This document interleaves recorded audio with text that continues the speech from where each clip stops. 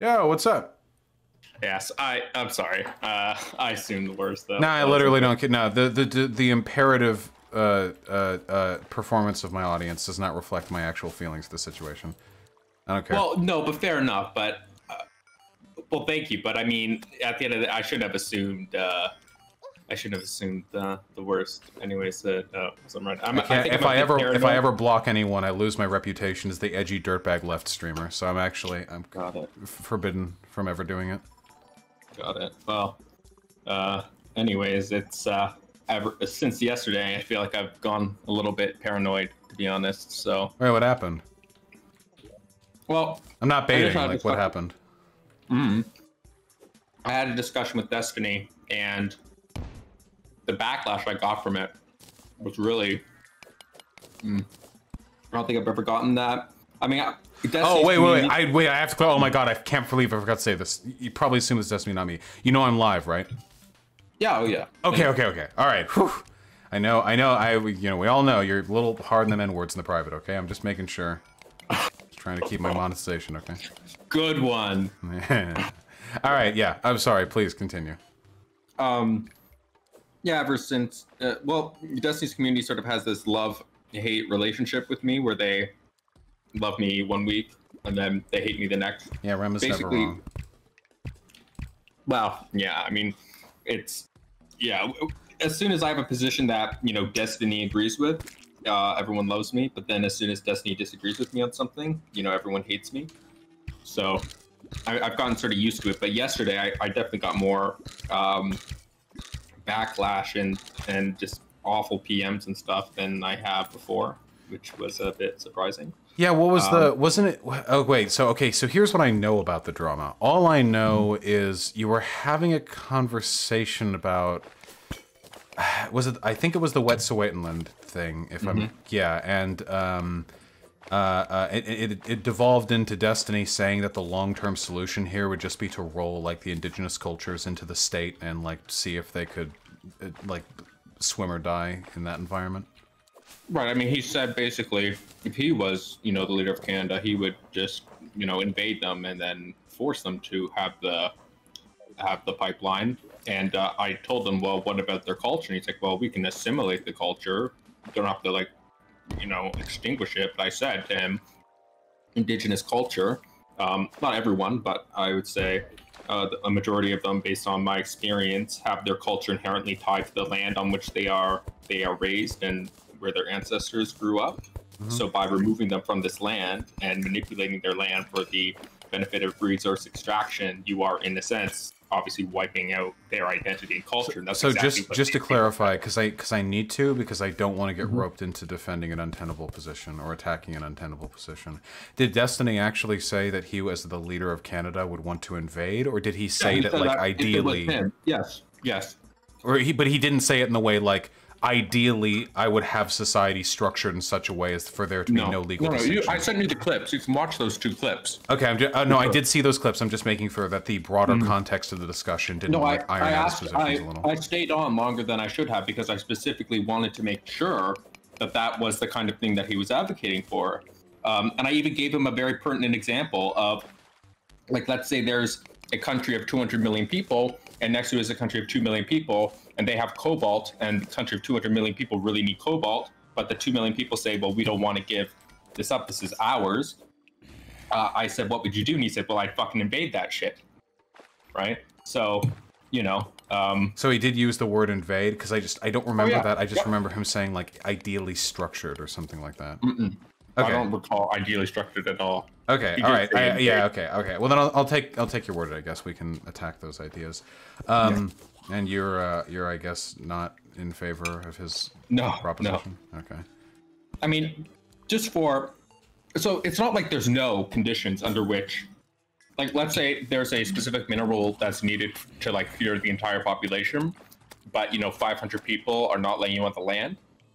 If worst comes to worst, there are going to be circumstances under which um, you have to weigh the autonomy of one people against another, right? But- Racism, Rem, looking for excuses to colonize. I see how. But uh, as it stands in Canada right now, there don't exist any situations at all like that, right? So it's just not an applicable uh, type of, of situation. And so, yeah, it really bothered me and it, it really surprised uh, me to hear him say that. And then, usually, as soon as Destiny says something really problematic, every single leftist streamer will jump on the issue, right? Mm-hmm. Like, remember, like the N word thing. Everyone talks about it. But every single streamer, every single leftist streamer last night that streamed, not a single word. And, uh, it really it really shocked me, uh, to say the least. Um, so I, am not uh, I don't know. It, it was weird to me, and it, it, feels it felt sort of in a sense lonely.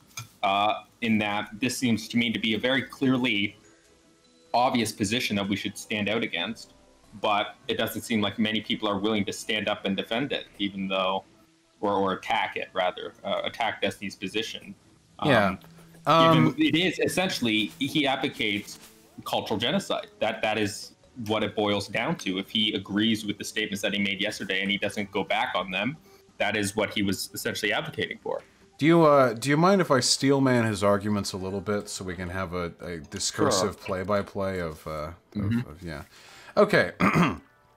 so I, I, I, actually had a conversation with a um, with an advocate with regards to the Wet'suwet'en situation pretty goddamn complicated. The fact that we're dealing not only yeah, the fact that we're dealing not only with a completely different like legal system, but also a very different set of cultural norms that mitigate the interaction between different legal systems. Totally different worldview. Yeah. yeah, yeah, like these are super fucking different.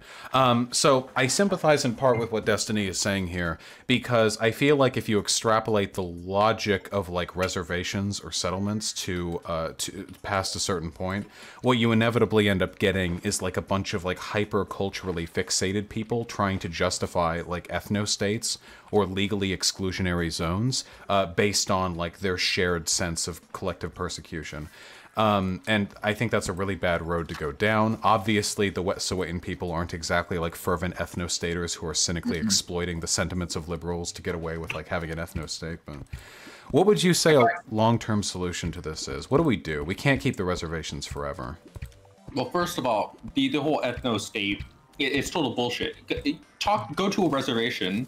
Um, obviously you can't right now. Also, you don't live in Canada, so you can't. But I'm already on my way, know, baby. First, go to a First Nations reservation. Like these, there is a general culture and fundamental belief among um, First Nations peoples that is incredibly welcoming. And if you are not actually well, I think it's the Mi'kmaq uh, Nation. They, it's literally an ingrained rule that you can be disowned from from the nation if you were not ready to offer hospitality to anyone that enters. Um, and this is an extremely common uh, trade and disposition that First Nations communities have across the entire uh, entire North America and South America. Right? Mm-hmm. You, you, can literally read reports about when Columbus first arrived uh, at Hispaniola in the Caribbean. Uh, these all of the the natives came to the beaches with fish and fruit ready to welcome them. Uh, of course, he would then later on commit genocide against these people. But yeah, obviously, uh, that's the proest gamer move. Right. Um, so this whole nationalism that happens in the First Nations communities comes from an attempt to preserve what is being actively destroyed. It is not ever saying that we will never welcome anyone who isn't us into our territory. It is saying that we are in a constant struggle right now to even live and preserve what we have and that is why we need to be we can't just tolerate anyone coming into our land whenever they the government specifically coming into our land and taking whatever the hell they want that that's not how this needs to work that's not what reconciliation really is so right but okay but oh, oh, all right so i want to in in very strictly pragmatic terms you agree that long term. Okay, so you and I, I assume you agree eventually with the dissolution of the state. I'm sure that's something you agree with. Um, are you an anarchist? I'm not. No, I'm not an anarchist, but I mean, uh, not too much of you, Rem. um, a decentralization Okay, all right. Well, we can work within that context. Um, mm-hmm. So, if we're in favor of decentralization, we have to recognize that in order for the system to work best, people within a given area have to subscribe to the same basic legal codes. If they can't do that, we get like a bunch of really um, substantial problems when it comes to understanding which set of rules are meant to be followed, or can we circumnavigate rules by moving to a different province or territory? It just gets really dicey. So, with regards to if we're not going to use Wet'suwet'en politics as an example, then maybe just American reservations, because that's something I'm probably a lot more familiar with. Um, if we're going to acknowledge that fact, where, how then do we make an effort to bring them into the fold?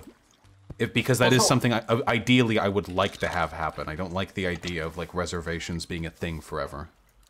Mm-hmm. No, I totally appreciate what you were saying. I just think that this is a discussion that needs to be had after the First Nations people are actually even close to being on the same ground as the average Canadian citizen. So once we get to that certain point, we can talk about a way in which we can equalize, and that that will mean perhaps adjusting our own legal codes because maybe they are not the correct ones and we can adopt legal codes of other nations that are not identical. Because throughout all of this, there is there tends to be this assumption that the Canadian way of life, the Canadian governmental structure, is ultimately the correct form of structure, um, and that we have to do. We are asking, well, how can we assimilate everything to our structure? There's no talk about, well, can we critically evaluate our own structure uh, and compare it to our First Nations governmental structure, evaluate what are the good parts of both of this, and arrive at a settlement that is able to accommodate to the best of our abilities um, the best parts of both. And th- but that's so so so so much further down the road, of course, given the struggles that First Nations communities continue to face in Canada specifically. I mean, it was only a few decades ago that these First Nations people were forcibly removed from their homes and placed into residential schools. Um, Yeah, I we're not that far off at all. Yeah, we are. Yeah, it- I mean this. This is not that, and there's still sterilization going on um, in Saskatchewan against, I believe, Métis people. So there are a lot of these big issues that people need to take into account. In the end, absolutely, I agree with you. There can't be 50 different, no, uh, maybe like a thousand in North America alone, differing legal structures.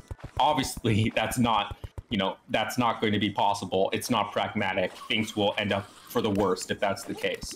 But we should at least recognize that as it stands right now, talking about assimilation of a culture is not you know the way we should go about doing this we need to talk about reconciliation first and foremost and i think that begins with respecting the self-governance and self-determination and the rights to the lands that these indigenous people have in the first place not just from a moral standpoint but also from but also from a a legal standpoint. I like I genuinely believe if this were to go to court, which it will eventually, uh, the Wet'suwet'en people will, or specifically the hereditary chiefs, they will win that legal case.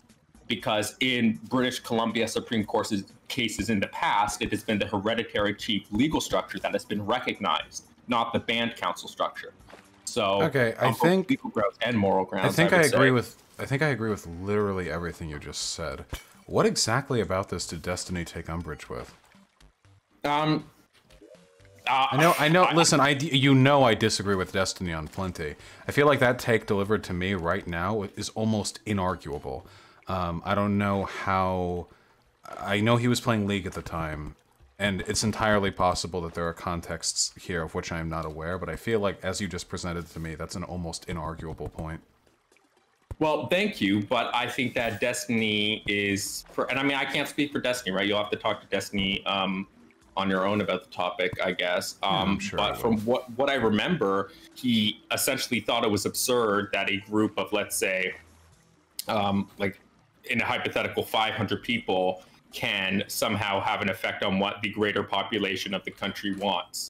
He thinks that that is, uh, you know, that's not okay. That's really that that's really weird for a capitalist because I feel like uh, fundamentally um, the the idea of um, defending the Wet'suwet'en people's right to their land is analogous to defending the property rights of individual actors who are trying to uh, resist like state seizure of their property. A, we have that's a great point. we have eminent domain, of course. There are processes to mitigate this in like individual cases. But the idea of like the state saying like, eh, I'd rather build an oil well here, and then just demolishing like three square blocks of Manhattan, like this would never happen. Um, it's only because of the economic subjugation of the Wet'suwet'en people and their relative cultural marginalization that it's even a question. right? Right. I mean, like if if yeah. So if you were to talk to Destiny about like I I got the impression it was a might is right take. Like I literally gave him a hypothetical of the 200 million versus one to, to isolate it from the indigenous people's issue, and he said, "Well, fuck yeah, they didn't get the resources. Fuck your. He said, "Fuck your culture if it's tied to your land." I mean, I do. I mean, on a in a philosophical sense, I do agree with that a little bit. But that's more. It's more of a like, um, like I also I'm also an anti-theist, but I wouldn't like run around telling Muslims like, like fuck all you. Wow, you're all living a lie, like like ripping off headscarves or whatever. Just because I think an idea is fundamentally toxic doesn't mean I think that the best way to mitigate that is to like approach it with violence or with state violence or cultural suppression. Right. So going a bit more narrow then on that specific topic about the legitimacy of you know such worldviews or philosophies. I used to have that belief. Like I used to think that you know it, it sounds so you know it sounds out of date. It sounds you know ridiculous, etc. Um, and it really shouldn't be given any uh, serious consideration.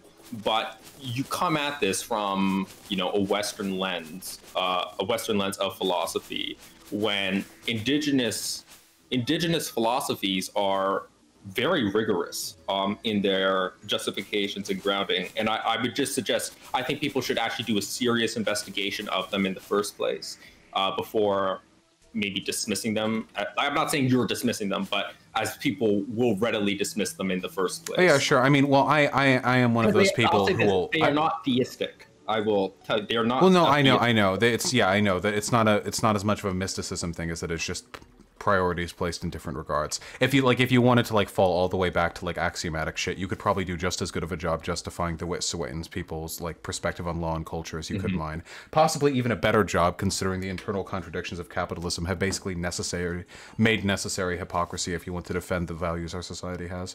Um, right. Yeah, so I mean, I can I can acknowledge that. I am one of those people who will say some cultures are better than other cultures, but I don't I don't know fucking dick all about the Wet'suwet'en people, so I can't exactly fairly criticize them. Um, uh, I'm just I'm I trying mean, to think here because I don't want to be I don't want to contribute to like an uncharitability train. Destiny's much larger than me, of course. It's not like I would hurt him mm-hmm. or anything, but I am curious. I mean, like, look, you can just watch the like you can't watch those clips and not get I mean, even like even if you watch the entire thing, it's uh, it's very clear that what he's advocating is a might is right perspective. And I mean, that just follows from his egoism, right? So I'm not sure why people think it's so. Um, you know, apparently Destiny wants to talk. Destiny um, is messaging me. Oh God. Uh, all right. What are we up to? Drag me in. I'm not even streaming. Do you mind me bringing him in? Um, he might target you instead of me. No, yeah, he absolutely will. He did some very vicious uh, personal attacks. Can I moderate? Um, can I can I be that? You could try to mod, but ultimately, if it gets to because I have stuff to do tonight. I have a stream tomorrow uh, with the professor on Katie Bloodschedule Crisis. Yeah, sure. Hold on. Let me boom but I will. Ass. I will legitimately leave, and people will say, "Oh, you're being a coward," but I'm not interested in having a, a spat. I know. I, he's, yeah, he's got the Destiny debate tactics. I know. I'm joking. I understand. Um, okay, hold on. Wait, how the fuck do I do this? Add friends. Um, oh, I see. Okay, here we go. Add friends to DM. Omni Destiny. Here we go. Group DM. Hello. Oh, hello. Hey, how's it going? Hey there. Hello. Oh, so before Mr. Uh, Remdiker over here uh, mischaracterized my position as go and murder all the natives in Steelerland. Basically, I never said that. What? That... What are you talking about? Wait, I never said that. That's oh, what your position. Wait, would it be possible for me to moderate this? I feel so calm right Actually, now. Actually, we can just find the um, we can just find the tweet that he launched like 30 seconds after. When did I say that you should go? That you were advocating to murder all the people? I never said yeah, that you were going to murder or hurt any indigenous people. Only that you, you were going to wipe out their culture as a result of displacing them from their land. That is, is all I've The only aspect of their culture their land. Uh, yeah, it is. Yeah, quite literally, the, the primary focus of indigenous worldviews, and specifically, I believe, of the uh, so, people. Pre pretending that indigenous peoples of, of Canada might be listening to this right now. So you, as somebody that no, is relatively clueless about most of their culture, which I know you are, you would feel comfortable saying, "Oh yeah," as a white guy who has no idea what most people think. I think that their culture is like 99% their land, dude. You, that's the that's the argument you want to go with. I can Just speak specifically to the cultures that I'm familiar with. Which ones are those, Rem?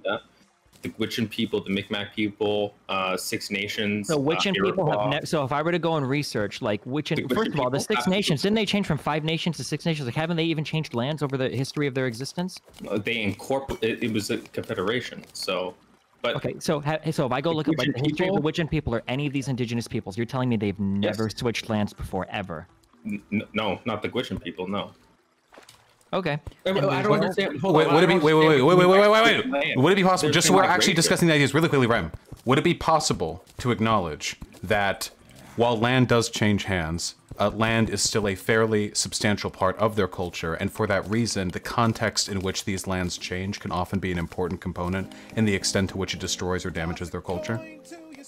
Um, well, yeah. So I, I, I want to make clear that I'm not saying that you know, uh, like a culture is not something that needs to necessarily strike back to the beginning of time. So uh, obviously, these people migrated from northwestern Canada and the United States all the way to the south. So, and these migratory patterns happened up, you know, after uh, contact. Uh, but then they formed their new culture around the lands that they now inhabited. And like I said, I'm not going to attribute this view to every single, you know, nation or tribe out there. Obviously, that's absurd. But from all of the ones that I'm familiar with, the Gwich'in people, the Iroquois, the Micmac, Ojibwe, right? All of these that I'm familiar with in Canada and some parts in, you know, the Rust Belt area, these are all people who have their culture inherently tied to the land. And if you remove them from your, their land, you are removing an essential part of their culture. That is a view I will absolutely stand by. Based on what I have learned about the subject. If you have, you know, a source that says that land isn't an integral part of these people's culture, I will absolutely read it and I'm happy to be proven wrong. Okay, uh, sorry, I'm just reading real quick. I, unfortunately, when I get into these types of arguments, I've learned that I can never take anything for granted because most of the time people are very comfortable lying. Um, do you want me? Do you want me to bring up? I can bring up for you. I, I have a whole book. Me too, brother. I, am sure you have the book. I know you haven't read it though, so I don't care. I know you, you haven't read. You don't think I've read? No, I know you haven't. Rem, when we got into a conversation two days ago, I have no idea about any of the indigenous peoples whatsoever, and you very comfortably made the claim Why are you that the making majority. These oh, what can I?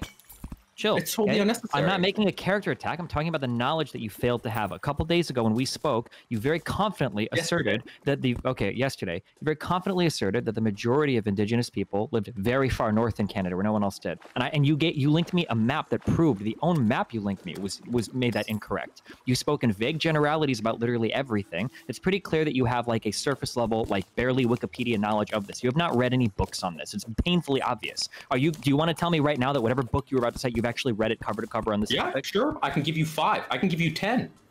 Wait, you gave you me. Want to go grab them? They're, they're literally right give, here. We're going to measure our dicks. You, you, you, you can tell me that you've read ten books cover to cover on this. Yes. But you couldn't speak in any more than a lot of people like this, or a lot of people like that, or well, some of the What is like what is the underlying contention here? But I know that you don't know. My problem is that Rem didn't really have a good grasp of uh, what, what he was talking about. He's pretend he's pretending like he's an authority on the subject. It's insane to me. Wait, wait. I don't know if, why he's doing this. If, if, if it was if it could be proven to you, if it could be proven to you that Rem was more knowledgeable than you seem to perceive he is, would you take issue with the takes that he's given?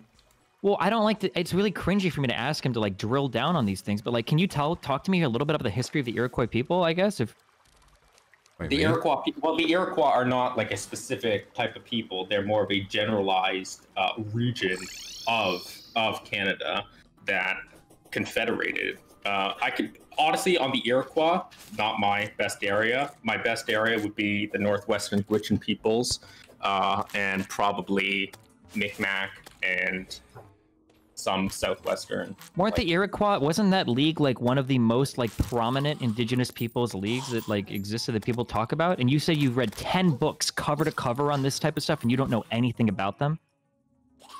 Like, I'm sorry, Rem, but you're like, I, I know, know you are lying by... to me. I know you're lying to me. Like, it's, it's, it, I'm cringing right now for you. I don't know why you can't just admit that, like, okay, sure, I've read a lot of articles on this. I have, I've read some. I've, I've learned about the Iroquois because I, well, we learned that literally in grade 10, and we learn about the formation of the Iroquois League. And, Remember, are you Canadian? And wars and the, the, the, pardon? Are you Canadian? Yeah, I'm Canadian. Fuck, that sucks. Sorry. Why does that suck? Nothing. Um, what, wait, wait, I'm sorry. What was the first part of that you said? Wait, what did you what did you being Canadian have to do with that? Well, because we learn it in our curriculums. Okay. Wait. So then, why don't you know anything about them?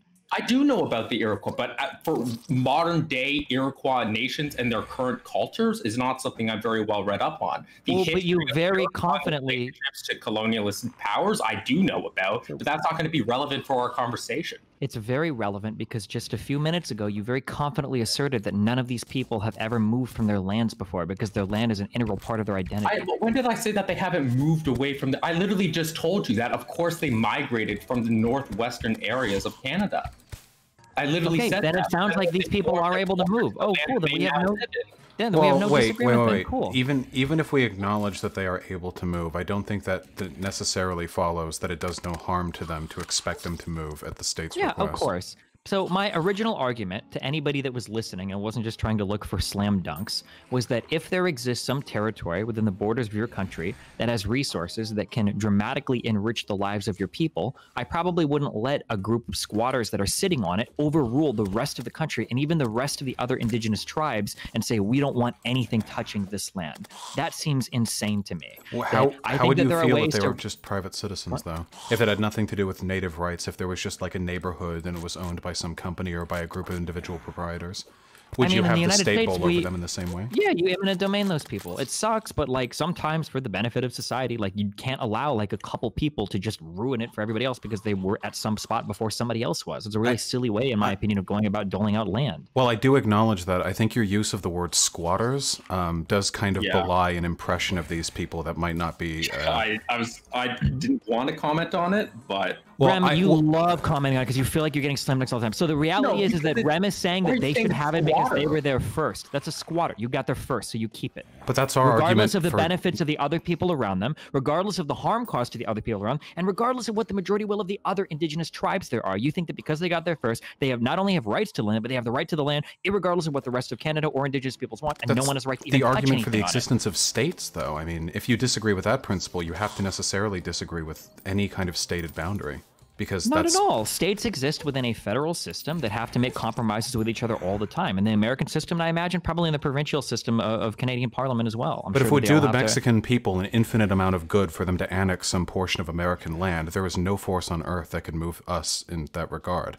We were here first if wait can you say that again yeah so like if, if the people of mexico the government the people whatever um, mm-hmm. thought that they could substantially benefit the people of their land by annexing a portion of the united states of america the argument we would use fundamentally is no fuck off this is our land and while i don't disagree that i mean hey listen i'm an anarchist fuck property rights but if that's the argument you want to make we also have to recognize this this could be used this could be applied in a lot of other contexts that I don't know if you would necessarily agree well, with. Well, but it can't because Mexico can't annex land from the United States. Right. Legally is the con- Wait, are we talking legally or morally here? I'm like, well, I like, eh, like practically, they wouldn't be able to, right? The United States maintains its own borders, and the United States has the capability of maintaining and defending its own borders. So right? wait, but that's the might makes right argument. So then you're saying yeah, if the West Wet'suwet'en people, right. wait, wait, wait, wait, wait, wait, wait can I clarify if I may? So yeah, your argument no, there was that we have the strength to sovereignly like, defend right. our borders. Yeah, but the yeah. Wet'suwet'en don't, of course. But then if we're saying the only reason we get to take their land, but Mexico couldn't take ours, is because we're strong and they're not, we're implicitly saying that the worth of taking land is a product of the extent to which they're capable of defending it, which is to, yeah. So to some extent, right. I, I, think that there like there's a nugget of truth in there. So the idea would be is that if they exist literally at, at the at the only as a result of another country being there to provide as much for them as they can, right? Which they do. So, for instance, any of these indigenous peoples that exist in these countries are literally only there because other countries are surrounding them, keeping them safe, probably providing them with a lot of tax subsidies and whatnot to keep them going. Not to say that that's enough because we've screwed over a lot of these people in a ton of different ways. I think it's okay if the entire rest of the country that is involved in supporting these like small indigenous tribes is like, hey, listen, we kind of want to run a pipeline through your land. Like, I know it kind of sucks. You can keep everything else. We're not going to come and kill you. We're not going to steal anything or whatever. But like, we need to partition off some part for this. Like, I'm sure there's a way to figure that out rather than for these people to have the supreme God rights over land that they can't even like hold themselves, that they rely on subsidies from the government around them to take care of. That's what I think. I think there's you, a way to work. Do you think out. the fact that they rely on subsidies is component to this? Like if they didn't, do you would you grant them more like moral autonomy? yeah, I think that if they were a complete and total separate nation, like totally on their own, I think it would be a, a little different. Sure. Then the argument that I would wait, wait, th- oh, sorry, I didn't mean to interrupt you, yeah. Destiny. I just wanted to make sure. Then the argument I would make is the only reason they're dependent on the nation is because they've already been the victims of colonization, right? It's not like before the Canadian folk came over there, the French, whatever. Uh, it's not like they were like looking out for handouts from Europe. Like they were autonomous until we put them in a position politically, socially, and economically where they would need to depend on uh, handouts that were given to them by their colonizers.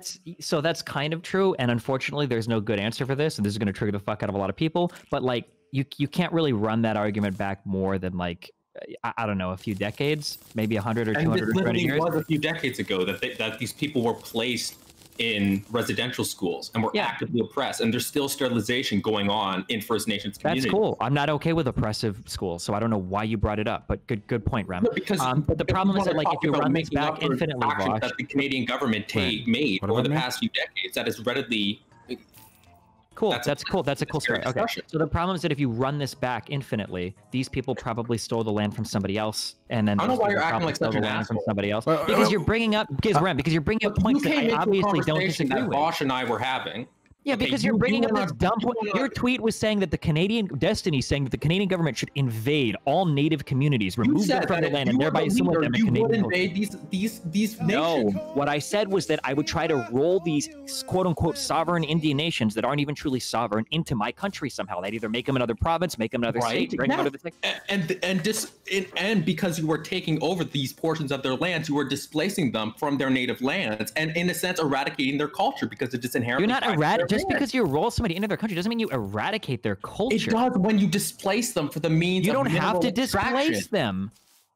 What do you mean? If you are shoving a pipeline through their native land, their heritage, that is displacing them from their land. I don't understand. Uh, what, what does all of the land of the pipeline is it like miles and miles across become all uninhabitable? It's all no. destroyed. Like, what do you mean? Well, actually, yeah, there's a huge issue that these pipelines do have an awful I, ecological effect, and I can send you an article that has shown the actual effects on that on First Nations community. So actually, yes, to my, an extent. My concern, worse, uh, it, it drives them away from those areas of the land that have been seen as their ancestral home, and of which they have tied you their identity. Saying ancestral, but earlier you acknowledged that these people people have moved around before, so it's not like it's impossible that they could resettle ten miles away. Like my, my concern. Well, wait, wait, wait, wait, wait, please, please.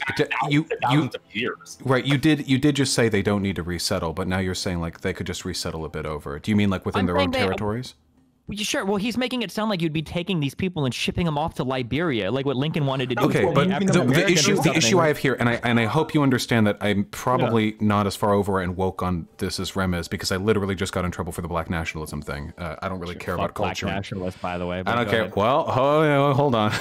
okay, I don't necessarily care about in culture intrinsically, but in the context I think we can all of, sort of agree on that. By the way, just that's a little. Uh, hey, listen, hold up. I've got a lot of people. I've got the, the fucking pharaoh mask on my Terraria character and everything. I'm trying to get in good with them. Um, literally a fascist on Twitter. My, so. my my my my main concern here is that I feel like this is taking context, uh, or this is taking place in the context of a broader pattern where we're like, okay, we're done invading you. Have your land. But wait, actually, hold on. One more thing but wait, actually, one more thing. And then we do this like we roll it back forever and forever. The issue is that because the Wet'suwet'en people or people of any other indigenous predilection in our countries don't really have the social or military autonomy to defend themselves and to defend their provinces, their autonomy only exists until it's inconvenient to us. So even if it might bring about like a great good to lay pipe through their lands, I feel like in the context of us continuing to um, subvert the, the the autonomy we promised them a century and a half ago, it, it, it, it, leads to a greater utilitarian harm. I feel like we almost have to respect their rights, if for no other reason than because at this point, to go back on the expectations that have been set for them is tantamount to continuing a genocide that has been going yeah, on. Yeah, so I 100. So I wouldn't say continuing a genocide, but I 100% agree. That's why I said I don't think you can have your cake and eat it too. To grant sovereignty to any indigenous people is a joke. One, it's not real sovereignty because it's going to be disrespected as soon as it's insanely inconvenient to another party, and then um, and then two, you're going to continue to run into problems over and over over and over again as one as the country, the, the dominating country tries to exert its influence over the people. That's why it feels to me like the most effective way to do things is to say, hey, you know what? We're going to make you guys a province or a state or a municipality or whatever they have in Canada that would do it. And then now you guys are going to be part of the voting base, the tax base. You're going to blah, blah, blah. And that seems to be the most effective way to do things because the reality is, is that means, that means removing their governmental structure. Cool. Okay. So eh, the reality but, is, is that inherently tied to their culture as well. Damn, sounds like their culture needs to come into the 21st century. Then, sorry.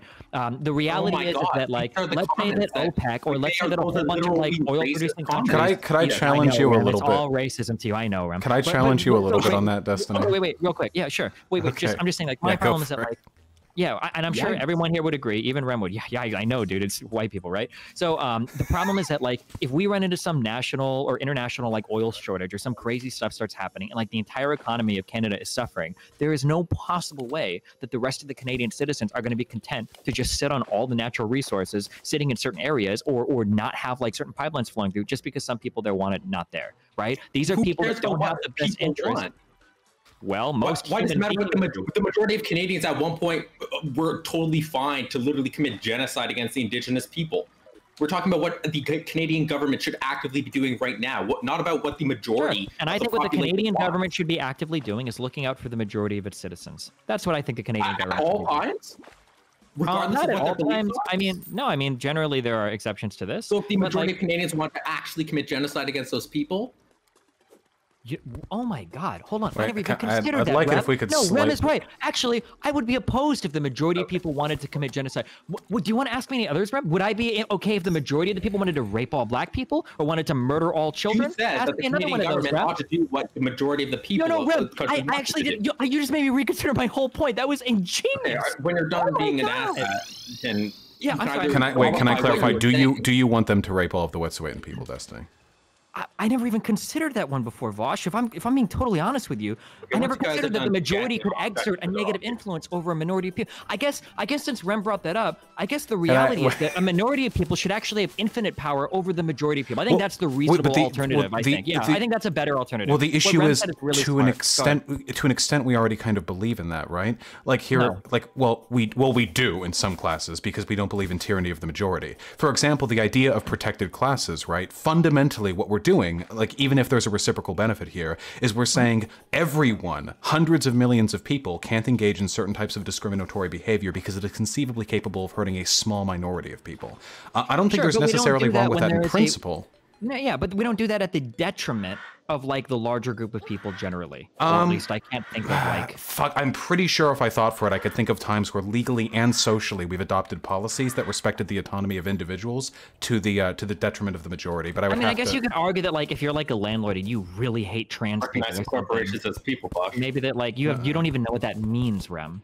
Um, but like I imagine that if you were like a, a building owner and you really, I don't think. What do you think it means when you recognize a corporation as a person, Rem? It was a fucking meme, like the same way that you were fucking memeing about uh, about committing genocide we, against indigenous people. Wait, wait, wait. Why is it that you can make cute jokes? What did the meme mean?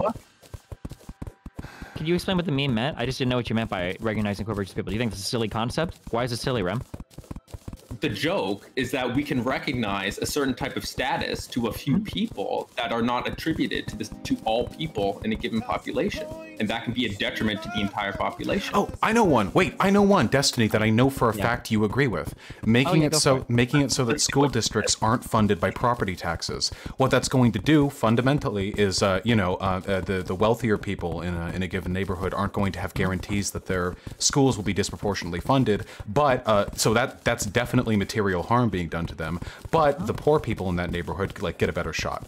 Um, I think you can make a reasonable argument. There are plenty of decent like examples in our society where we're willing to concede like the well-being of the majority if we can take a principled stance against harming a minority group.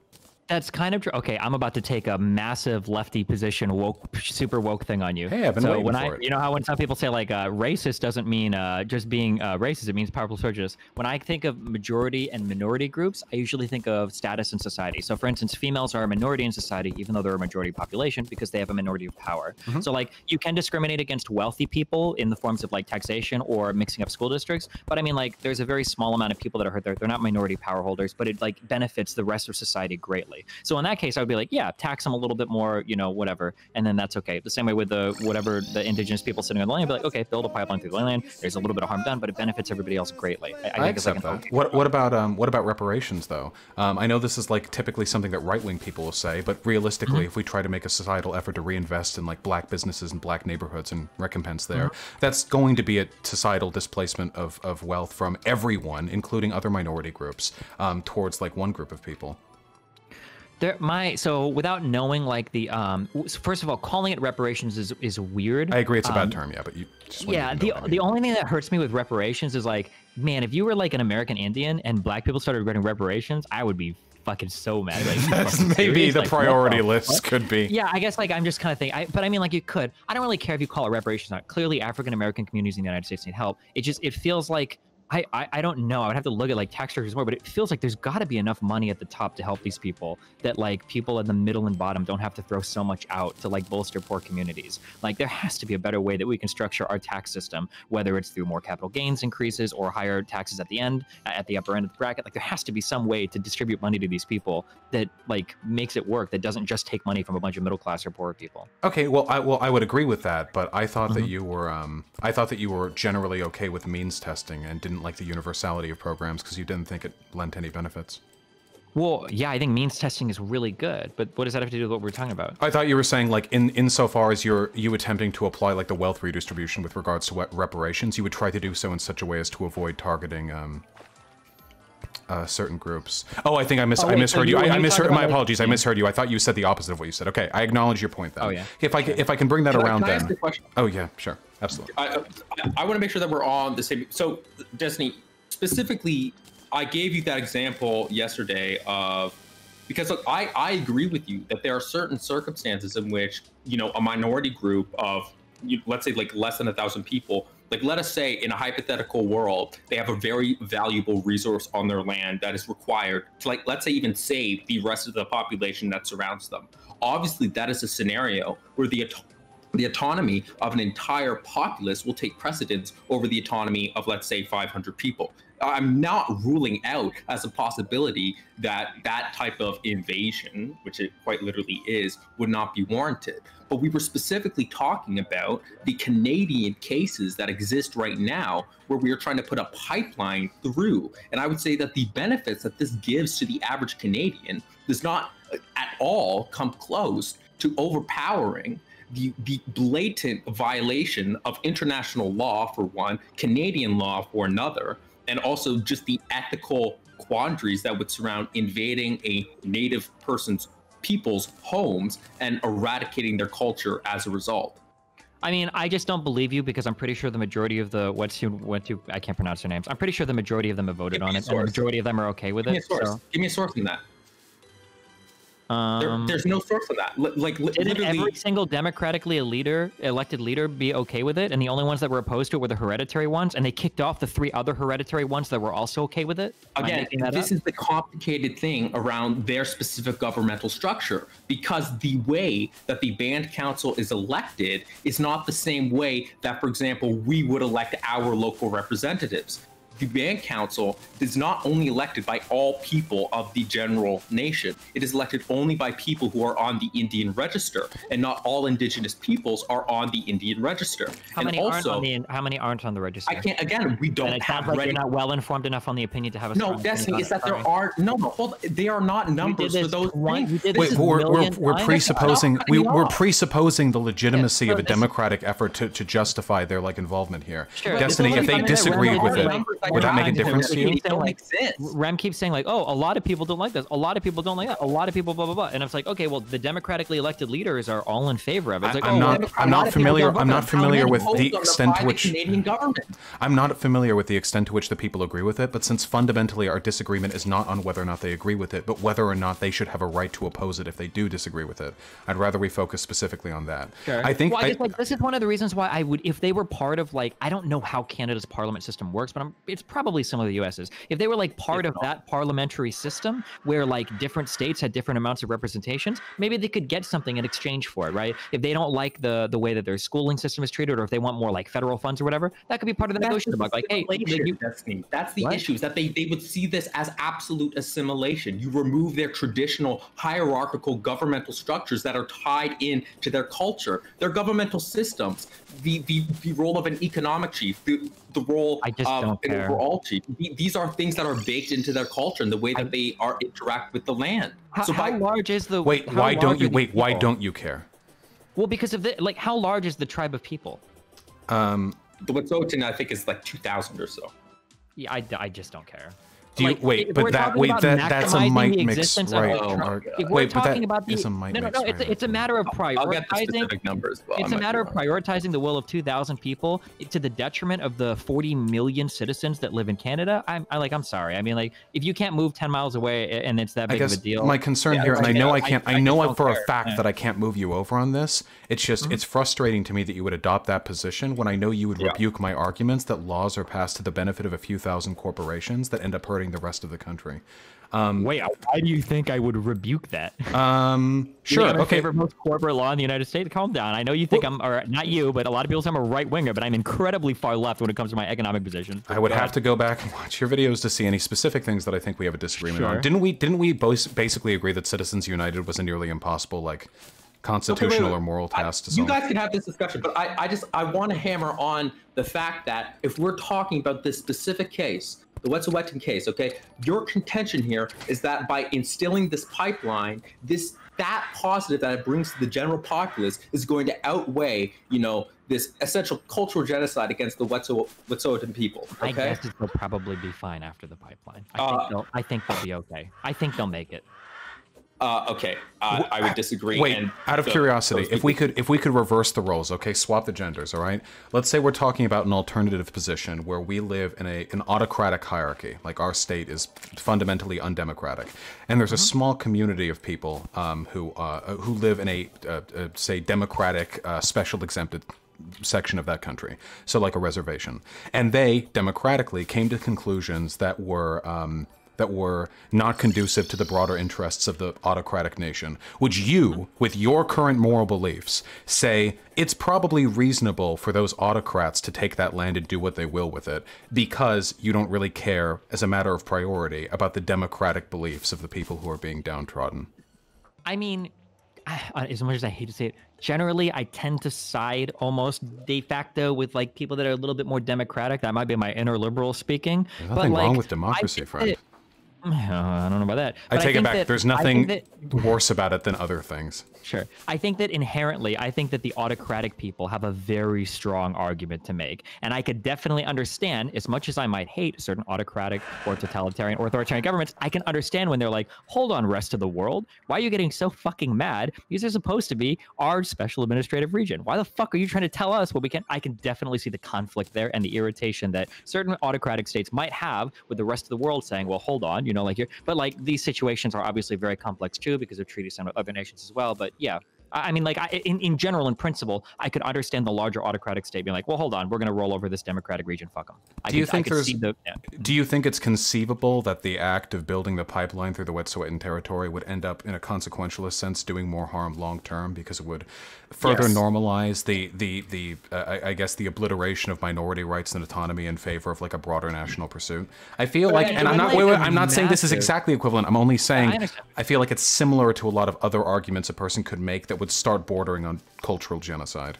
And can I just rephrase that because I just want to because this is a specific question I have for you, Destiny. Is what are, how how is it that the benefits of this pipeline specifically would somehow outweigh the cultural genocide of the Wet'suwet'en people? That's the question because I want to know. the cultural genocide of 2,000 people is like a, it's a, first of all, it's a very, hard, first of all, I don't even believe it would be an entire cultural genocide. And then secondly, it's hard to weigh like their discomfort having to move to some areas versus the actual material harm. I hate that fucking phrase, but against the actual material harm that would be caused to a lot of Canadians that don't have the ability to take advantage of those who, who is really going to be harmed by not having this pipeline? Do you know? Any Canadian that would have had a job that would have been involved with any of these industries. So everybody from mm-hmm. lawyers that litigate things, mm-hmm. all the way down to construction workers that build the pipeline, all the way down to anybody that works in a, in a fossil fuel related job. Do you think like job creation is the only important thing when it comes to this type of thing, though? Do you not think, like Vaush was saying, that the long term environmental effects that the pipeline will have, and the fact that we're not putting well, I haven't touched on the creating... environmental yet, but I was curious. Yeah, environmental, you're a big loser there because if you want to talk about environmental effects, you have to invest in green energy. Right now, not building the pipeline probably has worse environmental effects because that same oil either has to be driven or it has to be transported overseas, which is going to be an even greater contributor to greenhouse gases, we might guess. But um, regardless, like in terms of like long-term harm, like that I'm a huge valid. globalist cuck. I think as many people should be rolled into like as large a fucking culture as possible. I think that people can have their own little areas and their own like they can have their own little traditions and all that is great. But the idea of like sectioning off some parts of the world and being like, this is for you know this indigenous people only. This is only for you know white nationalist Eurocentric people. This is only for like nah, I'm not as no. But this is what I was talking to Vaush about at the start of the stream here because I agree with you that at the end of the day there needs to come a point, you know, if we want to have this globalist union of all peoples in the world, obviously we can't have these segments of lands that are, you know, completely off limits to everyone else. And I was even telling this, reservations are not really off limits to anyone who is not a member of that reservation. That is not how these indigenous cultures behave. They are incredibly welcoming to all people. What they don't like is the Canadian government who imposed upon them a very strict form of government that went against their wishes after they continually oppressed them for centuries uh, to the point where it's only been in the past couple of decades that we are now hearing these stories of the oppression that took place you know over the last 50 years. These people don't want that same government coming in and shoving a pipeline through their land. Wait this is, is not about them is there another place the pipeline could be built? i understand I understand this is an obscenely childish question, but if there was an additional expense the Canadian government could incur to put that pipeline elsewhere, does anyone know if there's a feasible? So my understanding, because I read a bit about the Keystone Pipeline, which I know isn't the same here, but generally no, there's the GasLink. Yeah. Yes. So generally there's a lot of different committees that come together to evaluate like the safest and cheapest and most feasible way of like laying a pipeline or whatever. Um, my guess is going to be that this is the one that they ruled would have the least ecological damage and would have like the um, the, the easiest to build and the less shit to tear up or whatever. That'd be my guess on this. You know how they're just doing it because they really want to fuck over these indigenous people. I don't. Well, I didn't think that. I yeah. don't think they care that much, though. They haven't historically. Well, they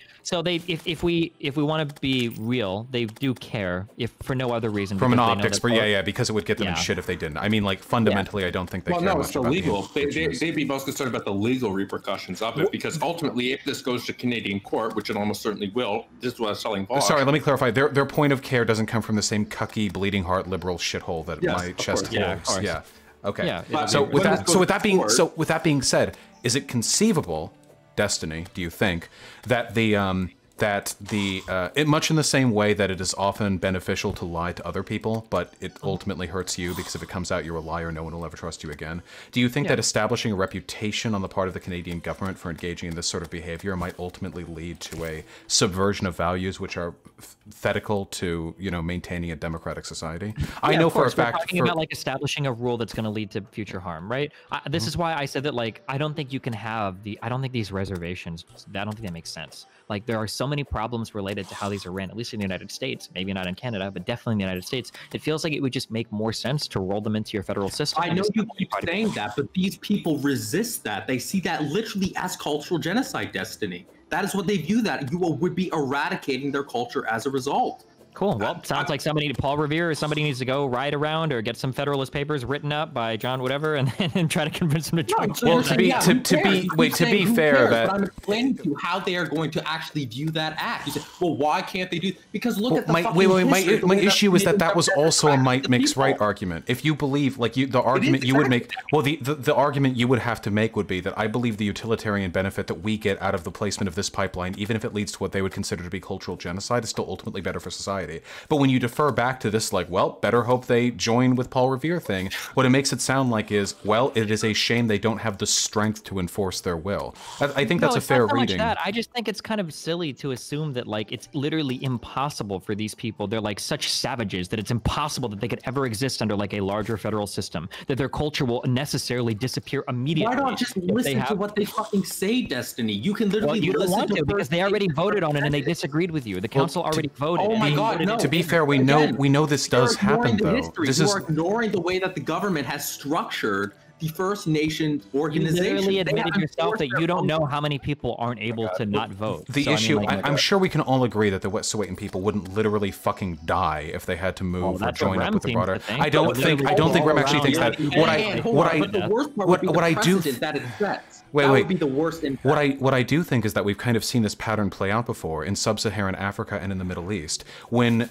people, I guess we would call them indigenous by today's standards, have their borders uh, or their geographic cultural heritage carved up by the bureaucratic expectations of Western or any more powerful governments, it generally leads to outcomes that are that are very devastating in the long term. And while I don't think that the Wet'suwet'en people are some sort of horrifically genocidal, or sorry, not genocidal, like uh, uh, animalistic people who could possibly survive without whatever rivers and forests they were born next to.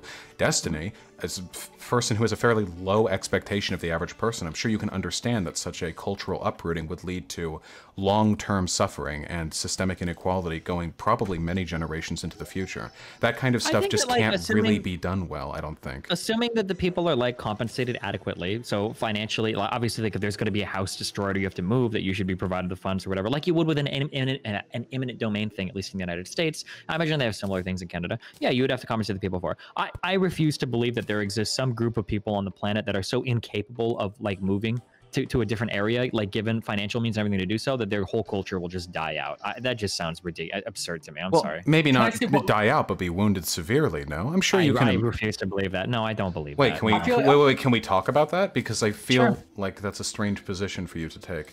When we say die out, I mean, I'm sure you can imagine, and I apologize if I'm being um, reductivist here. I don't know fuck all about the what the Wet'suwet'en people believe. Um, but like, I'm sure we can imagine that, especially for some indigenous cultures, the tie to the land in which you have been raised for centuries. I imagine, um, is great enough that um, the removal from that land is going to be more emotionally damaging to those groups than any amount of material compensation could ever possibly right restitute them for. And while we'll I agree, as a big brain, another river or another, but it's not. But wait, wait, wait, wait, wait. Okay, wait, wait, wait, wait, wait, wait. But you recognize another tree is not the, the same. Wait, wait, wait, wait, wait. But yeah, I don't want to get all bleeding heart about this. But I like yeah, you recognize bleeding heart is stating basic facts just, about the way that indigenous people okay, view their culture and I, land, and it's being dismissed like it's not relevant. Okay, well, that's the entire thing of the discussion. I'm not. I know they can find another river, another tree, but considering some of these cultural um, uh, uh, uh, forms develop over the course of centuries. Um, the idea that you can just go like, well, here you go, guys. Look, that big tree over there. That kind of looks like your old village tree, doesn't it? And you've got that over there. I think, I mean, I think this is a little bit naive. If you want to acknowledge that the dam, because there are two routes you can take here, I think that are reasonable. You can either say that cultural damage they will suffer is irrational because culture shouldn't derive from your geographic location, in which case, fuck them, which would be consistent, I guess, if maybe a little heartless. Or you could say, I simply don't care about the damage done to the culture because utilitarian benefit, blah, blah, blah. But, but deferring to this whole they'll find another tree thing, I think kind of demonstrates a paternalistic disregard for the structure of their culture that might be hampering your ability to understand. I was dealing at society deals with the cities, annex other cities. We dealt we dealt with it in Nebraska when Omaha had to annex a city so that they could continue to expand outwards to the this, economic benefit of everybody. Like I guess I can I, I guess mm, the city doesn't have as much a culture as like no, uh, come no. on, right? Yeah, I'm not absolutely. a I'm not a cuck, dude, but you know Western that's true. Western come on, dude, you're literally telling me that like, well, fuck the 40 million Canadians. Like these people have these as their no, no, no, no, no, no. I'm just no, no, no, no. Wait, please, please, Rem, please, they can't please, Rem, Rem, Rem, Rem, Rem, Rem, Rem, please, please, Rem, please. Wait, wait, wait, please, guys, please, please. I got, I bless. I, I'm please. I have a question. Wait, wait, can I answer? How much economic damage would have to be suffered before they would have to find a new tree? Can you tell me that? I'm not telling you that there's a threshold. I'm asking you to acknowledge that there is unique cultural damage being done and then to there say, is. in spite of that. Okay, okay. But when you say stuff like they'll find another tree or the city of Omaha was incorporated, I think you're downplaying it. And that makes me wonder if you understand because the extent to which this could. I do. You guys are making these fucking weird ass white nationalist arguments. I'm no, really no, no, no, please, please. I've, right I've done this whole arc myself. Please like, don't make dude, me go through cultures it. Cultures change. Rosh, I know you know this, Vaush. Cultures change and adapt to new stuff all of the But there's a difference. There's a difference difference between different people. They move through different mediums all the time. But the critical if these people move. Will there be some damage caused to the culture? Sure. Are there going to be stories revolving around certain lands that they maybe won't be able to tell anymore, or that will be lost? Sure, that's possible. But I bet they'll get new stories. I bet they'll develop a new culture. I bet they'll integrate past stuff into new stuff. That's just how that is entirely that is entirely possible. But the difference here is we're talking about mitigative periods of damage. When cultures change naturally through the ebb and flow of people and time, there's no damage point there. I that's wake make up. I, wait, wait, wait, wait, I'm sorry. Let me clarify, because I, I, don't want to misspeak. Okay, culture has changed massively over the past 20 years in the United States of America, but this is done through a fairly natural process of people. There's no such thing as natural culture change. Well, okay, wait, wait. Like, do you wait, wait? I'm sorry. I need you to commit to that statement. Then, do you believe that with no, regards with regards yeah. to culture, there is no fundamental difference between the natural ebb and flow of culture over time and a culture being destroyed by the actions of a state deliberately in favor of economic benefits? Do you think there's a fundamental difference between the culture of the African tribes in the West Bank changing and the culture well, being wait, destroyed? like 17 questions. Let's focus on one question. It was one question phrased in two different ways. So the, fir the first part of the question is: Is there a difference between culture being changed by a state versus naturally? Is that what you're asking, or? Um, do, do, you just, think before, there are different? Before you ask the question, here's the counter I'm going to give you. Right? Okay. Is white nationalists include like we'll say things like immigrants are foreign invaders that are ruthlessly changing our culture, mm-hmm. right? Mm-hmm. Like that's an argument that I've heard. Is that like a? I mean, that, that does kind of happen, right? When enough of a certain type of people move in there, does the culture change? Well, yeah, to some extent. Now, would I consider that natural or unnatural? Well, I don't know. Talking about natural changes of culture is really weird. When Mount St. Helen exploded, that added a lot of culture to a lot of, or, or Mount Vesuvius or other like giant volcanic eruptions. That changed the culture. That was natural, right? But that was also violent, and that was like like very extreme. Like I don't know when you ask me about a natural culture change versus an unnatural one. I mean, like that's. Would you mind if I didn't use the word natural and used a more specific term? In the sure. way that indigenous people. Yeah, it's, it's not a fair comparison. But even even even if we're not talking about like different modes of oppression here, then how about we say that different ways in which a culture can be changed can be destructive in very different ways. So American sure, culture has changed yeah. massively over the past 20 years. I'm a little fucking mm-hmm. baby. I barely registered it. I've just been playing video games. But mm-hmm. the culture of the black people who were brought over from Africa during the transatlantic slave trade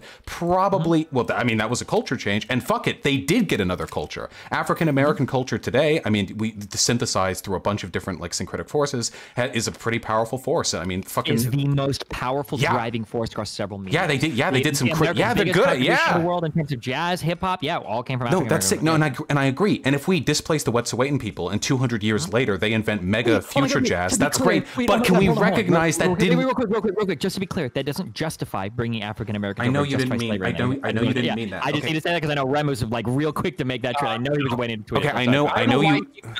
I know you didn't mean that, but do you under do you understand how it can be a little bit callous and maybe even a little ignorant to say, well, the damage done to their culture is irrelevant because in some indeterminate number of centuries they'll find a way to pick back up.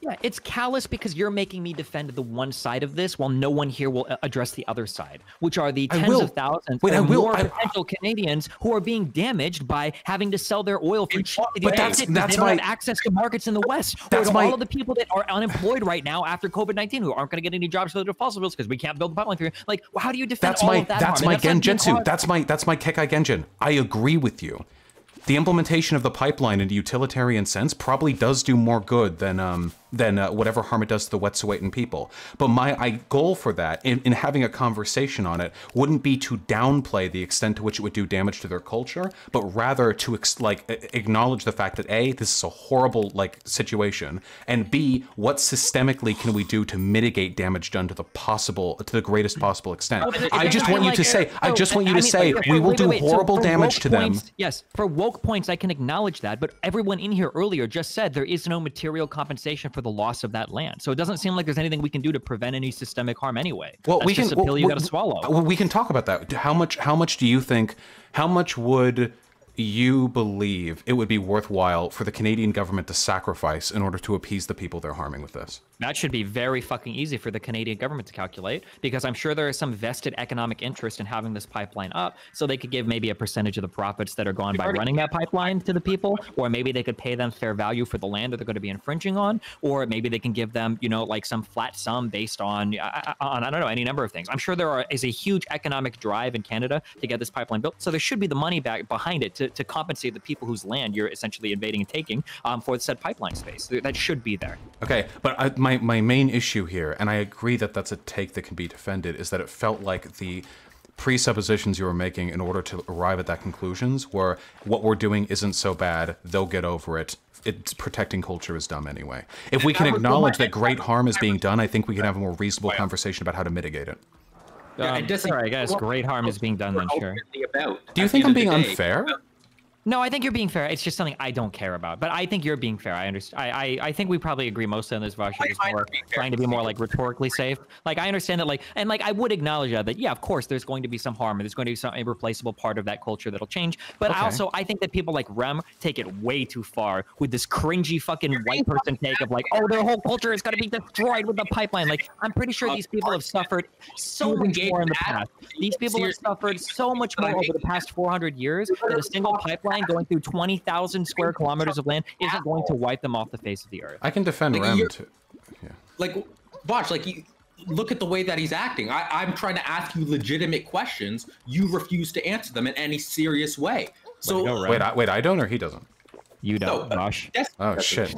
No, okay, just clarifying. Um, I mean, okay, wait, wait, wait. You two, wait, you two are both obviously triggered as fuck by each other by the earlier conversation. Okay, I think I'm that's fairly. Triggered.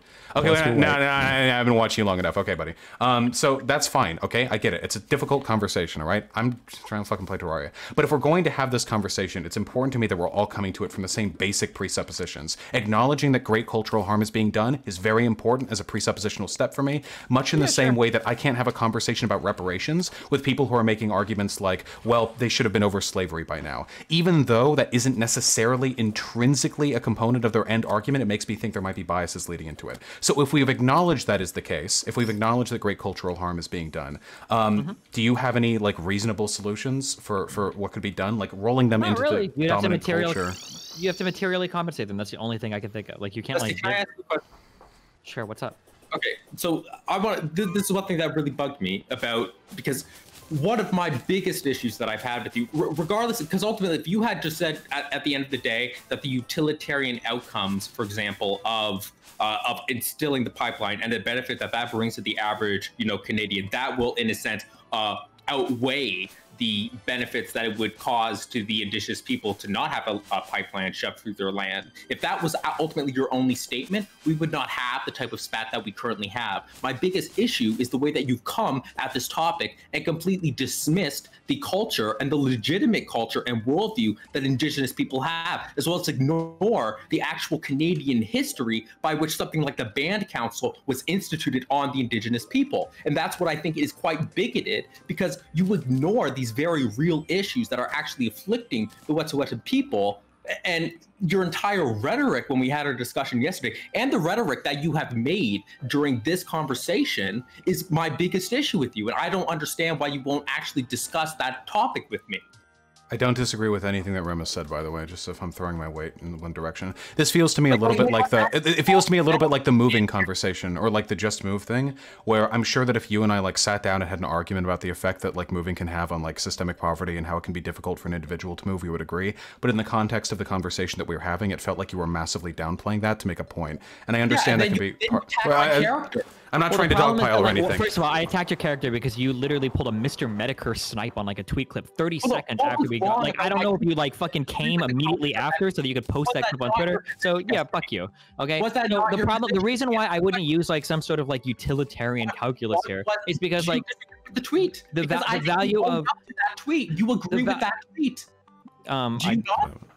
Cool story, bro. Okay, so the problem wait, is what that, tweet? like, wait, just so I wait, just so I know what exactly is being referred to here. I just I'm just curious. I don't know. I, I tweeted out basically an exact statement of what his position is. Is that at the end of the day, for the sake of of the of benefiting the average American Canadian, we are free to displace these indigenous people from their land, thereby, as you acknowledged in our discussion yesterday, um, essentially committing cultural genocide against their culture. That is what you admitted to when you said ultimately, if that's the cause of it, then I don't care. That is what you said, and you've even restated that today on this stream, and you're treating it like it's this massive character attack in, in which like, even though that's literally what you advocated for. And instead, you go on stream and say that I'm only doing philosophy to make it feel good, that I don't really care about indigenous people. I just want to be white. Don't forget that one.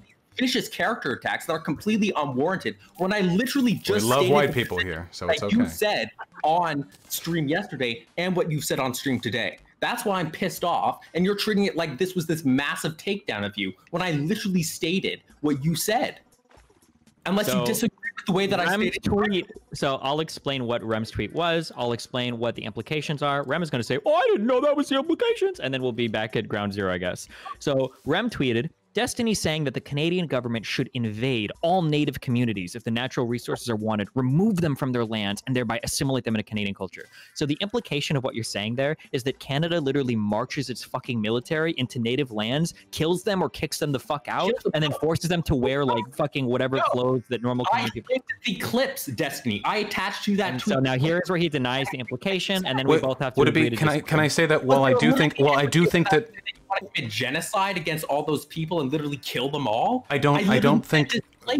I don't think Rem's characterization of your argument was any more hyperbolic than yours at some points, though. Yeah. You can make. You can maybe. You could maybe that the Canadian government should invade the fucking lands like, I, with guns. Okay, I apologize. Wait, wait. Like I apologize if I'm misremembering because I do legitimately have a very bad memory. But I think you actually in this conversation said that what the Canadian government would do is essentially invade the land. I think no, I remember what I'm that. saying first, no, what I'm saying is that like if push came to sub with their to shove with like some global catastrophe, that at the end of the day, that's probably what would happen. Yeah, like if there was like a global oil shortage or some shit, and like the, everything was fucked and people couldn't drive their cars, then yeah, they probably would start to invade like sovereign land. I'm not saying that that should be like a first resort. Like let's just start invading all of the like native territories. That's the only way that they can get that you would support invading their land, displacing them, and by result eradicating their culture, which is what my tweet stated and then you come back at me with this vicious character attack, uh, accusing me of being a white savior, not actually caring about indigenous people. Like, what the fuck? I understand you think that's really funny. Wait, wait, wait, wait, wait, hold on, wait, wait, please. Canadians so much? Can you tell me why you don't care about Native Canadians? I, like would Canadian it be possible people? for me to jump in here really quickly? My issue. I just want to know why. I want to know why Rem fucking hates Canadians and oil workers so much. I also am very curious, but I will have to get to that in just a second because I'm very curious about something myself. Destiny, what? you're saying that you didn't say that you would advocate for the Canadian government invading the Wet'suwet'en mm-hmm. people, only only if there was some mm-hmm. sort of global catastrophe or something along that lines. Can I ask you, if the Canadian yeah. government decided to implement the pipeline and the wet Wet'suwet'en people said, no, we're defending our land, would you then advocate the Canadian government has the moral authority, the right to go on ahead and essentially invade the land to implement the pipeline? Yeah, I think if you run it down all the way, I think yeah. Okay, I mean, then, like, then my follow up, then my like follow up to that. My... That's that's but that's this is true of literally like every form of law, right? So for instance, like should a police officer be able to kill you for a speeding ticket? No, I but mean, if, like... then if you try and attack him, yeah. But my problem then is, yeah. um, there you've had conversations in the past before where people say, "I'm not violent. I just want to demographically displace non-white people from the country." To which you say, "Well, how is that non-violent? What happens if they resist?" And then say, "Well, we kill them." And then you say, "Well, that sounds pretty violent." The violence sure. is implicit yeah, in the state action. Sure, but the difference here is that like the difference here is that it seems like the majority of these people, or I guess there's some a lot of people, whatever that means to Rem, that are against this. It seems like there is a reasonable deal that can be reached here. I don't think it's reasonable to offer to pay all African Americans to leave the United States. But we're, like, aren't we presupposing the value of their democratic input though? Because we're we're making the argument that it doesn't matter what they want. And, Josh, this is exactly the point I was trying to make to you, Destiny, is because there needs to be a real conversation about the status of the band councils in the Wet'suwet'en Nation. Yeah, I agree. They should be rolled into Canadian's federal system. I'm just, oh I'm just saying that since since we're since we're discussion about the legitimacy of that democratically elected band I'm, council. I'm just saying since we're presupposing since we're presupposing the irrelevant wait, please, wait, wait, one minute. If we're pre, Rem is trying to defend monarchs to you right now in patriarchy. Oh, oh listen, I'll wait. I, I'll do that. Actual serious discussion. I'll take a crack at that. I'll take a crack at that next. I just want to say, if we, if we're not, if we're presuming the unimportance, the the the not illegitimacy, the the irrelevance uh-huh. of the democratic will of the Wet'suwet'en people, which we fundamentally have here in this consequentialist argument. Blah blah. We need to do what's better for the people. Um, mm-hmm. If we're doing that, then we're implicitly suggesting that their will isn't really relevant, which means that the state action imposed on them is one which will always carry with it the de facto threat of violence. I.e., your yeah. the the characterization of your argument as Canada invading the Wet'suwet'en people, while hyperbolic, is honestly, I don't think dishonest. Um, I think it's dishonest because I don't think reasonably it would ever come to that. Much the same way that if I were to tweet out, I think you should be able to murder. Has happened in the past oh 20 God. years, Destiny. No, Rem, the Canadian government. Rem, I just want to let you know two things, Rem. Rem, one, reservations. I just want Look you. Okay, I have. I understand. I have two responses to you, Rem. One, I don't care. Two, plus it's all reasonable. Okay. So if I were to tweet out, if I were to tweet out, okay. When did you get on that, Destiny?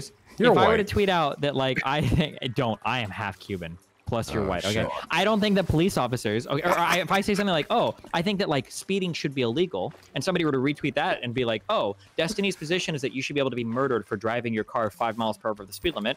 Technically they're right, right? If a police officer pulls you over, you resist arrest, you don't get into the car, they try to like they write you a ticket, you say no, they're like, okay, well I have to detain you. They say no, they start fighting you, and it, I mean, like invariably that would at some point escalate to violence, right? Would you retract I mean, like, your arguments with the ethnostaters then? Literally a position where the, wait, would I? I'm sorry. People are not willing to give up that land, what, so of course, what is going to be the end result? I just would okay, you would wait, you, you say, would you would you retract your arguments with the ethnostaters then, where you say that it's fundamentally violent to try and deport people from their homes because there's a very high likelihood of them resisting. I imagine well, if no. the U.S. government sent soldiers to my town and just started rounding up black folk, a lot of them would just go along with it because they don't have rifles and tanks. Um, would you then argue that's not fundamentally a violent action because you would imagine there are routes for that to take place that don't involve like killing them?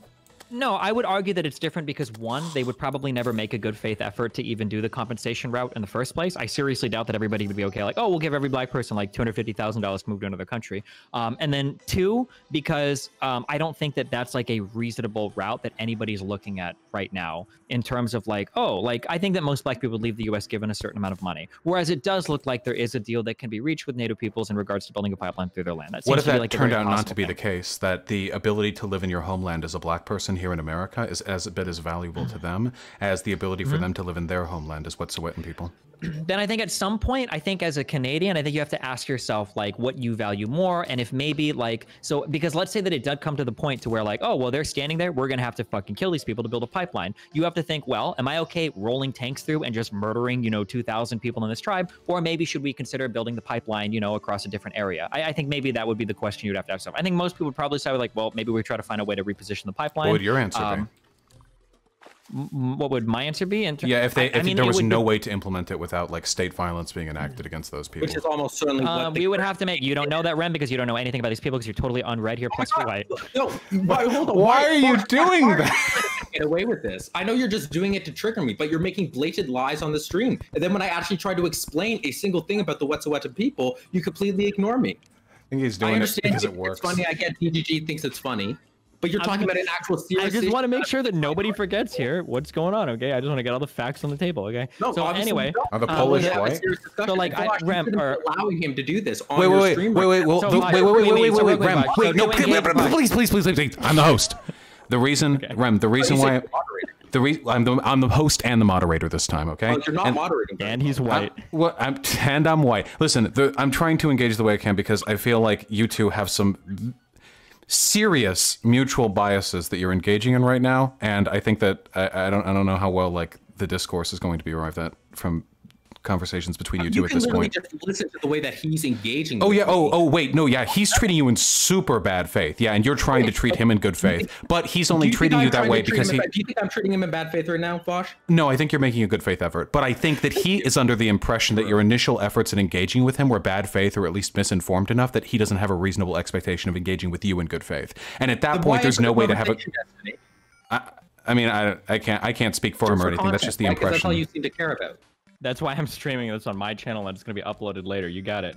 Um, okay, so why did you join our anyway, conversation? Wait, me? Wait, me? wait, are oh, you? Because I don't want you, you running banned? around telling people that I'm like some imperialist colonizer no, to invade and murder and culturally genocide part people. Of the tweet I sent out. Okay, listen. Okay, there are two main reasons why I came in here. One, I don't want you going around telling people that I'm a literal in fa- like in favor of invading and destroying fucking lands of people. And two, you're white. I, I never, okay? hold on, I never said that. I, I literally laid out. Is this a new? Is this?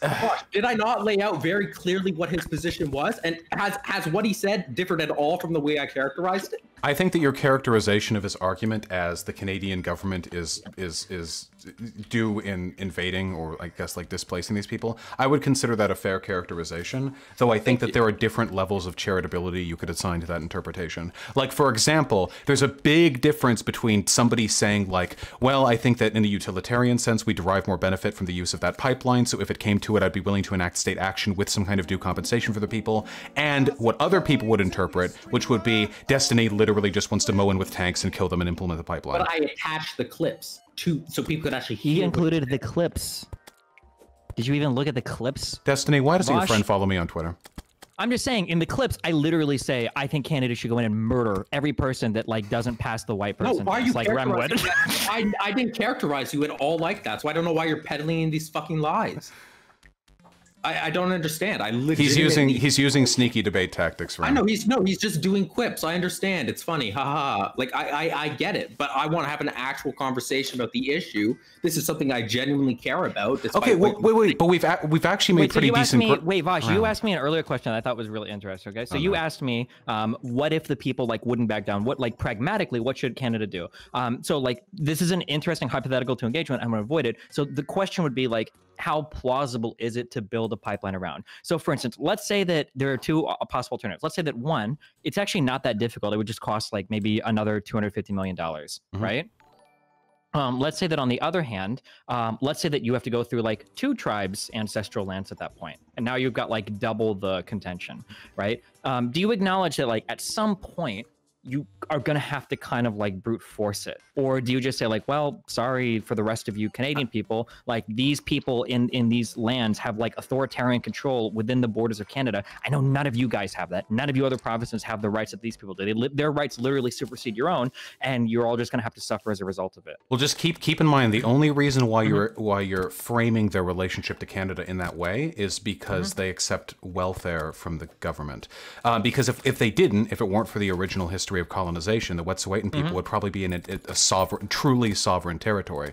So it seems a well, little bit. It's it, well, okay, or something approximating it. What's well, difficult I mean, to can... me is is is putting our like putting them in a position where it's like, okay, well, unfortunately, you're ultimately you're ultimately you know subject to the will of the Canadian people because you're in a position where you take advantage of our like wealth and resources anyway why are they in that position? Oh, well, because we like killed your people like 300 years ago, you know? Sure. The, the problem is that like, even if they, just to be clear, even if they weren't taking federal money, if they were, or they were their own sovereign state, um, we would start enacting other forms of violence on them to probably get them to buckle to the pipeline. Yeah. So for instance, um, we would probably start sanctioning them or we would say like, okay, well, you're going to have tariffs or you're not allowed to trade with our country if you're going to oppose this thing. Um, rather than if you go along with this, then we would offer you some economic benefit. We'd either pay you direct cash transfer or we would have like some preferential trade treatment or whatever. Do you think it's morally permissible that more powerful nations should always have the ability to begin to damage the nations around them if they feel they can get something from it?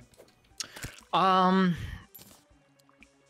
I I just I know I understand so wait, oh, pragmatically. So, no, wait, wait, wait, okay, okay, hold on, hold on, hold on, because you phrase that in a way where it's like, oh, well, obviously we should always. But what you're what you're considering is you're looking at two actors here. You're only looking at two, one a big country and a small country, but you're not taking into account the people in that country. Because the way that you ask me that is really morally loaded. Do you think a big country should have a right to shit all over a small country? But I could just as easily flip that and go, do you think that a very small country with very few people should be able to destroy the material well-being of of tens of millions of other people? Because well, that's how you could very easily well, phrase the, it. but that, right? well, but yeah, but that would be an uncharitable uh, phrasing of my argument because you can't reasonably say the Wet'suwet'en people would be destroying anything if they already have a legal and moral right to the territory that controls no, the oil. you just because you have a legal and moral right doesn't mean you can't be damaging the material harm. Technically, well, um, damaging kind of implies the they're doing a harm as opposed to not doing a good. By not giving them the oil, they wouldn't be doing a harm; they'd be refraining from doing a good. The difference between like an obligatory and a supererogatory action is very important to me.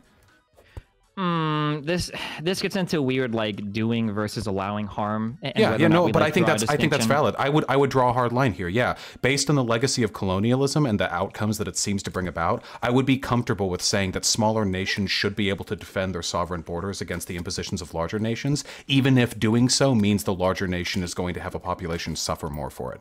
Um, now, I obviously, just, there's wiggle room seems there. like a weird position for me to demand that a nation have such ultra charitability to a smaller country next to it or within it that it's going to allow that country's existence to cause like material damage to some of its poorest citizens. But the problem um, is, because, the problem is like, that's, that's only a choice. For. That's only a choice the tough nations get to make. The weaker nations never get to actually participate in that dialogue. They don't get to decide to what extent do I enforce soft political power on my neighbors. The issue with this is, even if you can make good arguments for it, where you're stacking the deck in favor of a system where the powerful nations are the only ones that have any real sovereignty.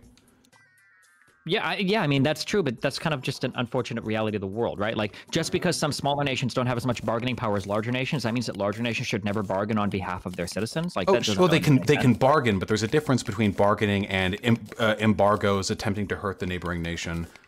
It's just it feels like it feels like we're like trying to play a game where we know for a fact which groups are going to win. I don't know if that sits well with me, especially given well, yeah, the fact. Yeah, of course. That, I, I guess like I just my problem is that like we're valuing the culture, I guess, uh, of some three thousand people over like the material well-being. Well, right now, I'm not talking about the culture. I'm only talking about the sovereign rights of the Wet'suwet'en people, which are only subverted in this case due to a history of colonialism. If we if we ignore that, because I don't pay any respect whatsoever to the legal precedent of like which nations destroyed which ones. Um, I don't know if like the history of colonialism changes like any of the calculations here, other than like if you want to argue that the history of colonialism should be taken into account, then maybe like a larger cash transfer has to happen or something, I guess. But like because because if we were to talk about the history of colonialism, we were talking about like actually compensating these people for what they've lost. The true answer at that point is we should give them back all of their lands which means sailing back on over to Europe. True, but so I would, that, I would never going to happen. I right? would argue that the, the the people who live now in Canada have like a right to their land as well. I don't know why, if they have a right though? to the well because I because I don't like displacing people, which is why we're having this argument to begin with, right? I don't think that the Canadian people necessarily have a right to the natural resources of of, of uh, non-compliant, independent, sovereign nations, and I don't think that the independent uh, sovereign nations have a right to then, centuries later, displace people who were just born in Canada. I, I, think it's really difficult to balance this geopolitically because no matter which way you go, you're probably going to contribute harm in some direction. That just seems like a weird, like moral position to take, where it's like I'm going to do this harm so that my children don't have to. So like you move in, you invade all the sovereign lands, you say I accept this moral evil, and then hundred years later, your children are like, oh, we can live on these lands, but it's okay because the evil was committed a long time ago. Thank God they made that. Yeah, well, yeah, I'm not going to hold the ancestors. I'm not going to hold people accountable for the moral wrongs of their ancestors. That seems pretty. Well, we up. kind of should a little bit, right? Like in the form of like reparations. I say that, but like recompensing like communities that have had their labor stolen or their land stolen or something. Um, it's a, I guess like at the end of the day, like I acknowledge that it's pretty complicated. I, this is why I hate, I hate the concept of like, um, these like reservations because they're they're never truly going to be sovereign, right? Everyone knows that it's not going to happen. Um, and it seems like it would just make more sense to to roll these people like into your actual federal system, give them a real voice in parliament, and then like incorporate them into your system like you would every other citizen. Would you make the argument that there was no place left in the world for people at least in our corner of the world, um, to exist outside the purview of a liberal democracy. That if your culture is fundamentally incompatible with one which is the basis of our legal system, that you shouldn't be given any space in which to practice that? Wait, can you that you shouldn't be allowed to practice like another government, another form of government? yeah, like, like fundamentally, there's no room in our chunk of the world anymore for people to participate mm -hmm. in like the hereditary tribal structures that the Wet'suwet'en people believe in. That like if you believe that shit, like sorry, you need to be rolled into the broader democratic liberalism of our society. Um, I think that you probably you can practice it on a smaller level, like on a religious level. Um, so for instance, like there are some Muslims that like to practice some forms of like Sharia law. So like if you steal something, maybe you get swatted a few times, or Catholics say that you have to form some um, amount or do some amount of contrition, like if you commit like a certain moral crime or whatever. I think that those smaller systems are okay. But in terms of how the larger government system works, you probably all should have to fall in line. I think in order for it to work. Um, the the alternative to that is some form of anarchy. Do you think it's possible to do that long term over a form of incentive structures rather than actively just rolling them in, like with some big legislation? Like, if I could think of a way to do this ideally, what I would imagine it would be is like maybe the broader government, like the government of Canada, could try to. Um, uh, could try to offer like incentives or grants or some kind of tax reduction for people from Wet'suwet'en or other uh, like associated territories um, if they decide to like live long term in those countries. Uh, and that way we'd have like this soft pressure to incorporate, which I think, frankly, a lot of them would prefer to because I don't think that a young person born in Wet'suwet'en territory should be forced into their culture any more than I think somebody born in America should be forced into ours. And then if they're eventually like incentivized into rolling over here, then um, over the period of maybe like 60 or 70 years, the Wet'suwet'en culture culture is no longer substantial enough to hold claim to that territory? Sorry, that was a bit wordy, but like, do you think that yeah, would be so like? So basically, you're asking me, would it be better to like slowly roll them in rather than to do it violently and in like two days, right? Yeah, yeah, yeah even I, if it meant a sacrifice. yeah, like it would, it would, course, we wouldn't be sure. able to get as much immediately.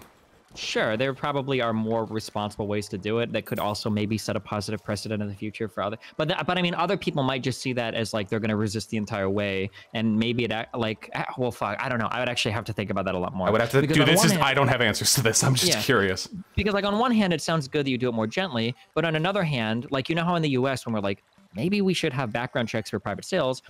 Now, as much as it hurts to say this, a lot of conservatives that oppose background checks, they don't actually oppose background checks. What they're scared of is that, well, if we let you do background checks now, tomorrow you're going to want to take our guns. That they see it as like a slippery slope. Yeah. So I, I worry Me that too. like yeah, any type of like deal that you start to make, people are like, well, no, fuck you. We're not going to do any of this soft shit because we know what your ultimate goal is, and that's assimilation and we don't want to do that. That would that would be like my guess. Is that or that could happen, right? As that would I know for a fact that would happen because there are people who are in my chat who believe that offering an incentive for um, for people born in the Wet'suwet'en territories to join like the Canadian society broadly, um, that they would consider that cultural genocide. This is where I guess I depart from a lot of the woker people because I believe the the belief that a person because of their blood should be locked into the Wet'suwet'en culture is every bit as toxic as the idea that just because you're born into like a given ethnic group that you shouldn't be able to do other things with your life. If individual Wet'suwet'en people, as the through the course of their life with no pressure from the state, want to live comfortably in like the broader purview of democratic liberal society then I think that's probably a good thing. It's definitely a simpler thing in the long term, but if they don't want to, if they hold their land, I just don't know if I could morally excuse state action being taken to break apart their culture. Sure, I understand, but I mean, I, yeah, I mean, I, I, I, I don't have as much of value in culture, and I'm obviously a, I don't know if you'd call me a statist, whatever the opposite of an anarchist is. I love states, and I love state power. Yeah, I love it when the state tells individuals that you have to fucking fall in line for the benefit of everybody else. That shit gets my cock rock fucking hard. So I mean, yeah, I mean, when, when I look at like this much material benefit that could or well-being that could exist across all of Canada, and there's just a few hundred people stopping it, yeah, I mean, I kind of fall inside of like we need to figure out a way to make the pipeline work. All right. Well, I think that at least in this conversation, you've come off a lot more conscientious of the long-term uh, or, or material harm that could potentially do. A slight departure, if I may. Um, you said you hated me on Twitch. Do you still hold to that? Should I be offended, or we every time I talk to you, motherfuckers, the next minute, as soon as you guys get on Twitter, you're like, in this conversation, Destiny City wanted to murder everybody. I have you never fucking done that did it to me. You told me that my class clouded my judgment, and I hate you for it. But I don't hate you quite as much right now because I don't hold grudges. So I hate you like 30% right now. Plus, you're white. Okay, so keep that in mind. Yeah, I've been. I, I've watched the last few vods, and I really haven't. This must be really new the plus your white thing. This must be like fresh out of the DGG fucking meme files. I just think it makes some people really mad to be mad. I don't think it makes me mad, but I know it makes Rem mad. Because Rem was tweeting earlier, well, actually, I have a great, great, great grandfather's aunt, okay, who had a dog that was owned by an indigenous person. So, so I just like to remind people to bring him down a knob at the end of the day, you know? Listen, I'm a Slav, okay? I'm pretty. There are some prominent um, uh, white identitarians who wouldn't consider me a part of their club, so I think I think I'm still free most white identitarians seem to forget that the Slavic people were super fucking hated by Hitler. Actually, it's pretty funny. But I'm sure you can. If Fuentes can weasel his way into white nationalism, I'm sure you can find a place there. I can weasel my way out. Yeah. yeah. okay. All right. I love you, buddy. Be careful. Okay. All right. Wait, is Rem even also, still here? Did he just leave? No, I would like to say that Rem said I was here for publicity. Rem is actually the one that left the call and went live. Plus, he's white. Bye. Try to get along with him in the future. He's gone.